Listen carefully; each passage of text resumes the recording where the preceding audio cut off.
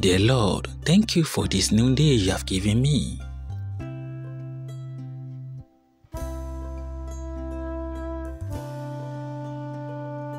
Today, please help me to focus more on what is right instead of all that is wrong.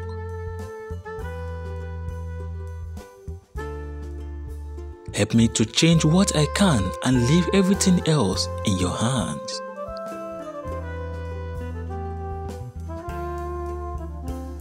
May your joy be my strength and your peace fill my heart.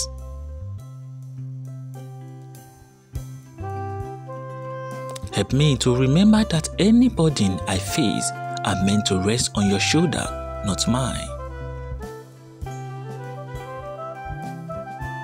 What is too much for me to bear is not too much for you.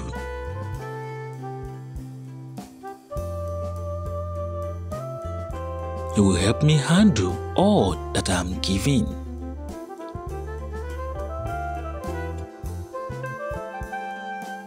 Thank you, Lord. In Jesus' name, I pray.